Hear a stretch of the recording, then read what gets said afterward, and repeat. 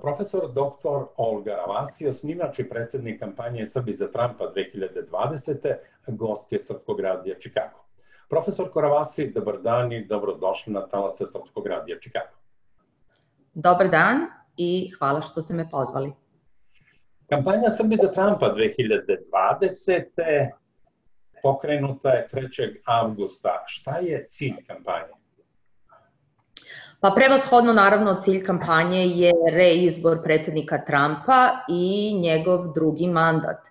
A drugi cilj kampanje je buđenje srpskog rasejanja iz jedne političke apatije, organizacija na lokalnim, ali i svim drugim nivoima, kako bi se naš narod ponovo društveno-politički angažovao, uključio u sve političke procese i imao uticaj upravo tamo gde treba da ga ima kao jedno ozbiljno i značajno biračko telo.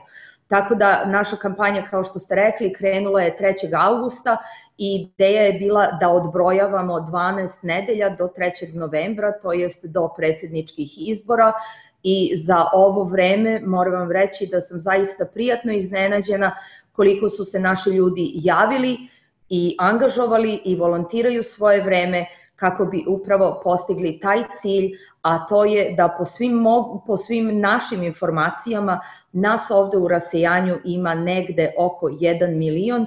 Naravno, mi nismo potpuno homogena masa, ne glasamo svi na isti način, ali bih u ovom trenutku rekla po svim mojim procenama, evo dok traje ova kampanja, oko 90% naših ljudi definitivno glasa za konzervativne vrednosti i tradicionalno i istorijski glasa za republikance, Tako da definitivno ovo je moment koji smo iskoristili da pokrenemo jednu ovako značajnu kampanju kako bi se naše rasejanje politički uključilo i u, na dugoročnom planu ostalo politički aktivno i na lokalnim, ali i na državnim nivoima i nastavilo da utiče na one odluke koje se tiču upravo i njih samih.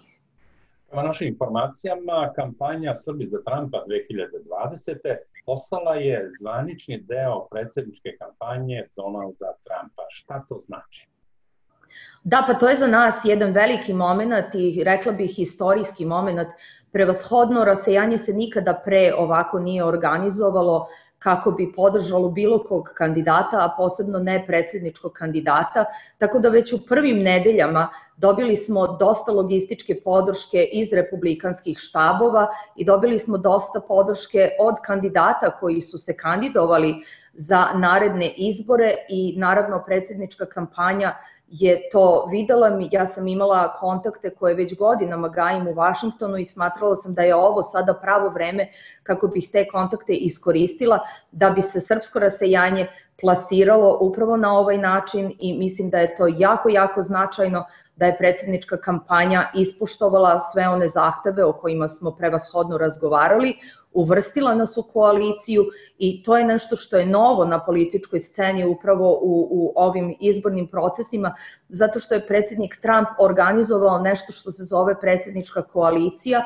a to je u stvari organizacija grupacija, da li manjinskih naroda ili manjinskih grupacija koje su, na primer, zapostavljene bile jako dugo i od um, strane demokrata, ali i od strane republikanaca. Tako da trenutno u ovoj koaliciji su žene za Trumpa, afroamerikanci za Trumpa, latinoamerikanci za Trumpa i naravno uz sve ostale i ponosno srpski amerikanci za Trumpa.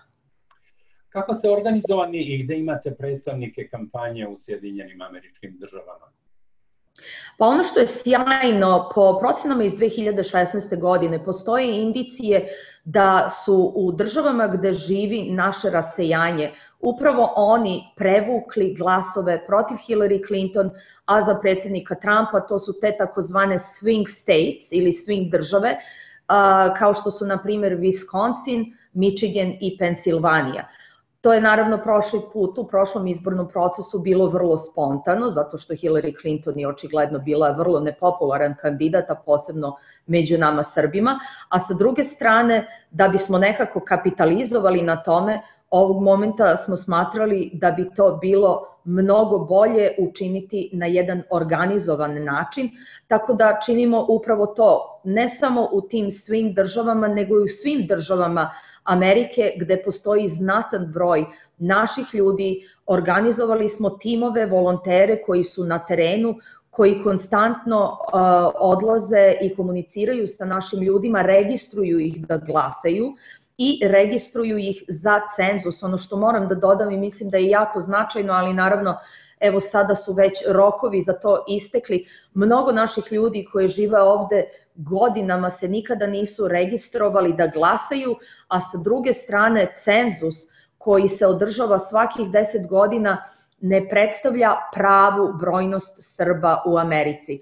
Nažalost, po tim brojkama nas ima samo 170.000, što svi znamo naravno da nije um, korektan broj, ali mi smo pokušali i kroz ovu kampanju da apelujemo na naše građane da se registruju i da se na cenzusu izjasne kao Srbi, jer se cenzus obavlja svakih 10 godina, tako da upravo ova godina je bila ta prilika za nas da u stvari ustanovimo pravu brojnost našeg rasejanja. Nažalost, pošto mi nemamo baš i najbolje izvore iz naše matice, koliko nas ovde ima, moramo se sami organizovati i imati tu brojnost kako bismo čak i u ovim političkim vodama imali taj uticaj, jer brojke su upravo uticaj. I to je nešto što moramo imati u vidu i na čemu moramo raditi i u budućnosti, pa i nakon ovih izbora. Kada pominjete organizovanost, na koji način zainteresovani mogu postati deo kampanje Srbi za Trumpa 2020?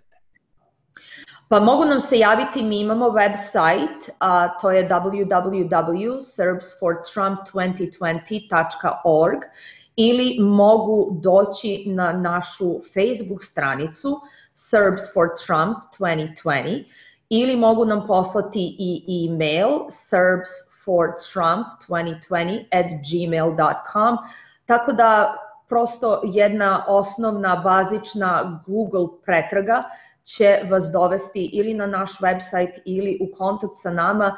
Želim i čak sada da apelujem na naše ljude da nam se jave, svuda su nam zaista potrebni, ali reći ću vam da sam jako, jako pozitivno iznenađena odzivom naših ljudi, našim volonterima. Mi imamo sjajne timove na terenu na, u svim državama gde živi naše rasejanje.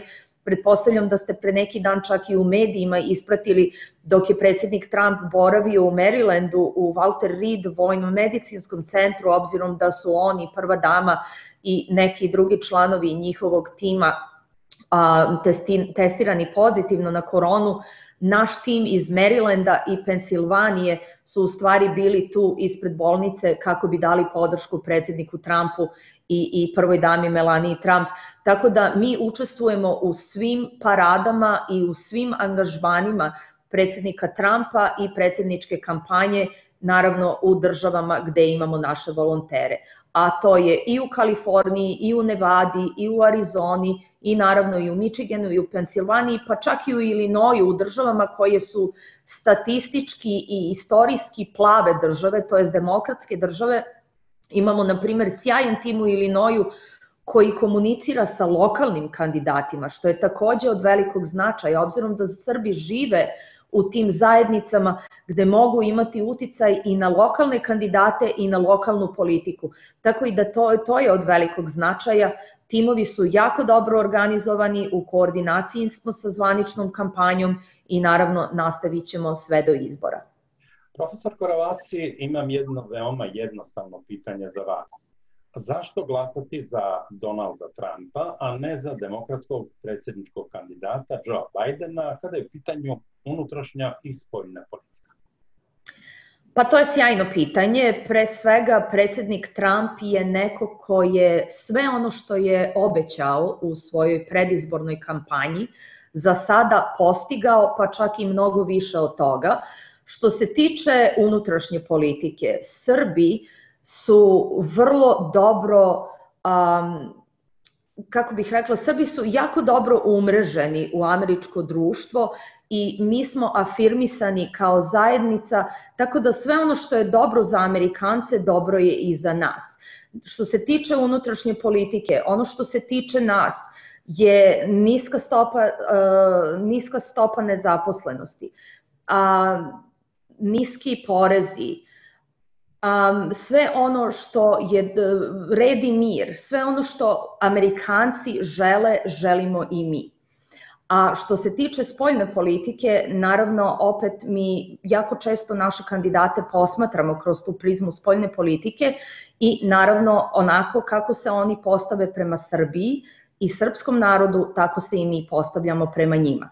Jako dobro se sećamo svih ispada, negativnih ispada Joea Bidena prema Srbima 90. godina.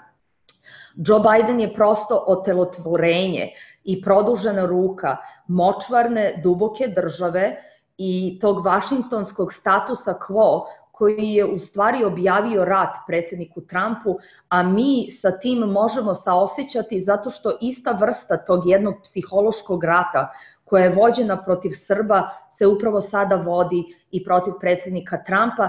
To je jedan tihi i agresivni državni udar. Ono što je vrlo interesantno, mi smo bili svedoci i žrtve obojene revolucije koja se dešavala 90. godina i početkom 2000-ih Upravo takva vrsta obojene revolucije se dešava i ovde, pratite sve što se dešava u našim gradovima kroz Antifu i, i organizacije poput Black Lives Matter, a upravo je Joe Biden neko ko proizilazi iz te takve jedne močvarne situacije i naravno nakon 47 godina na uh, državnim jaslama, nakon toliko godina provedenih u političkim vodama Joe Biden se je sada setio da će navodno nešto promeniti. Nažalost i njega gledati je ponekada vrlo tužno jer on je prosto jedna postao prazna ljuštura koja je sada a, neko ko će da iznese jednu radikalnu levičarsku agendu i radikalni levičarski narativ koji ponovo ponavljam je mnogo, mnogo zla naneo srpskom narodu, tako da izbor predsednika Trumpa za nas u ovom trenutku je prosto izbor pragmatike i zdravog razuma. Profesor Karavasi, vi ste, rekao bih, relativno često u kontaktu sa ambasadorom Richardom Grenelom specijalnim predstavnikom Donalda Trumpa za dijalog Beograda i Prištine. Nedavno ste za Srpski radio Čikago i radili intervju sa gospodinom Grenelom, koji je jedan od eh, najpoverljivijih i najbližih saradnika predsednika Donalda Trumpa. S tim u vezi, recite nam šta je novo u američkom pristupu problemu Kosova i generalno u odnosu na Srbiju. Pa ono što je novo u Trump doktrini, takozvanoj Trump doktrini, je njegov pristup spoljnoj politici, a to je pre svega pravljenje dogovora, on je čovek mira i on je čovek koji ne želi da ratuje. On je čovek koji želi da zaustavi sve ratove i povlači vojsku nazad. Konkretno što se tiče Srbije i što se tiče Balkana, on je čovek koji prevashodno želi da aktivira ekonomski razvoj i ekonomski boljitak, ekonomsku mobilizaciju našeg regiona, naravno prevashodno uključujući Srbiju, obzirom da je Srbija ekonomski lider u regionu, a naravno i po svim drugim parametrima lider u regionu. Tako da u mojoj komunikaciji sa ambasadorom Grenelom upravo smo razgovarali na tu temu. On je čovek koji direktno sprovodi spoljnu politiku predsednika Trumpa, oni su ljudi koji ne žele da se bave spoljnim intervencijama, oni ne žele da se bave ratovima, u njihovom interesu je naravno America First, ali kroz ta, tu doktrinu America First oni žele da pomognu drugim nacijama da se razvijaju na isti taj način, ali ne da se bave tim procesom globalizacije i globalističkim narativom, nego upravo jednim patriotskim viđenjem svake nacije po na osob, upravo onako kao što mi to vidimo i Ameriku, a naravno tako isto vidimo i Srbiju. Tako da što se tiče tog konkretno problema sa kojima se mi dugo, sa kojim se mi dugo suočavamo, moram vam reći da što se tiče Srbije i naravno problema Kosova i Metohije, to se ne može rešiti preko noći. To je proces, to je jedan dugoročan proces i nažalost imate priliku da vidite sve ono što se dešava predsedniku Trumpu kroz taj jedan a, tihi i agresivni državni udar, tako da on nije imao dovoljno vremena da se pozabavi svim regionima na svetu koji imaju pojedine probleme, ali sa druge strane mislim da je otvorio jedan značajan prostor za nas da se organizujemo i da se postavimo drugačije nego što smo to radili do sada. Znači mi prevashodno u rasejanju moramo se postaviti kao jedno ozbiljno biračko telo koje može da utiče upravo na te odluke koje nas se tiču, a sa druge strane mislim da moramo razviti mnogo bolji odnos sa našom maticom, kako bi mi u suštini bili jedan nezvanični diplomatski kor koji bi mogao u komunikaciji sa našim kolegama u američkoj administraciji da upravo radi za dobrobit Srbije. Predsednik Trump je učinio upravo to, otvorio nam je vrata,